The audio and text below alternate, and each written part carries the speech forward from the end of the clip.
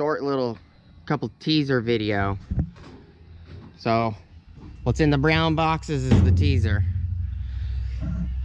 I have two four ton orange Daytona jacks from Harbor Freight.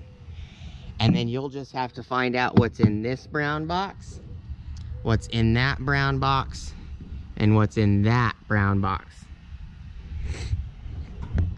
And they're not small boxes. This is a five by nine trailer. So please like, comment, subscribe, and check out uh, some of my other videos. And um, I'll see you on the next video. And thank you for watching.